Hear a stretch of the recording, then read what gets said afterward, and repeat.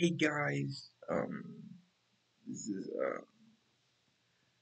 more of a conversation video because I to talk about this. I want to make my own Roblox game, which I've always wanted to do, but the one I want to make is I don't want to make because I've never made a Roblox game before.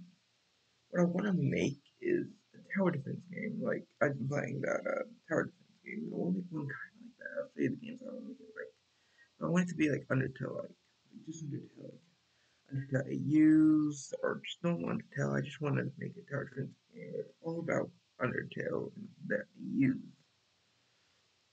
But I don't how to make the tower defense game. I don't to make the whole summoning thing work, and so I just wanted to show. I just wanted to ask if there's anyone out there that knows how to make tower defense games or wants to try to help me, I would gladly want some help because I need some. But um, these are the games I want to make it like. Uh, well, here's the first game I want to make it like All Star Tower like how they have the summoning, um, cool like teleport you to the map, which are both these are gonna be like you can see already with the uh, I basically want to make it like this, but also I want to make it like this. They're both amazing games. If you want to make me to make a video on this one, comment. This one ain't all about anime though, because this one's about anime, and there's also some like superheroes in it. Like I have like you start out with Batman and Robin and no, you start with Iron Man and Robin. But this is this is creepy. That, but um, yeah, these are the two games I want to make it like. Mainly like this one because this is one I love in this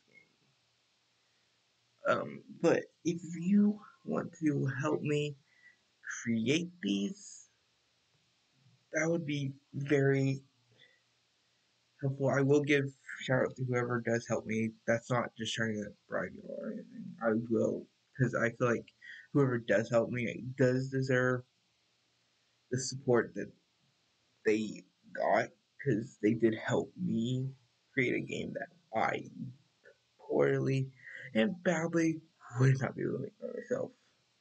But that's all. I don't want to leave the this. I don't want to make this video too long because this is a discussion video. But um, comment down if you want to help me, or if you, or you can comment down some tips on how to do the stuff, like um, on oh, but um, that's all, guys. I hope y'all enjoyed, and bye. See y'all in the whatever video. Also, I got Undertale. I should say that. I got Undertale on my Xbox, so if y'all want me to make a video on that, I've already completed it, but I can go through the, the route where I kill little monsters and spare living ones, which I thought was neutral, but apparently neutral is killing the main ones and sparing the little ones, but I cannot beat Sans. That would be pretty much impossible for me to do, since I have bad memory and forget the attacks very easily. I would not be able to beat it. I would need some like thing that makes me have infinite health or something in order to beat Sans. But I can't but, uh, anyway, you want me to play Undertale? I will. That's all I'd say. See y'all in the next video. Comment down what you want me to play. If you want me to continue this Tower Defense game. Uh, and so, bye.